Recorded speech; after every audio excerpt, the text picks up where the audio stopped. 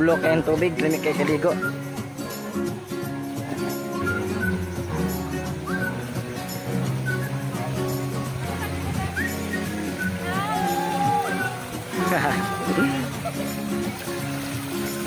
Jillian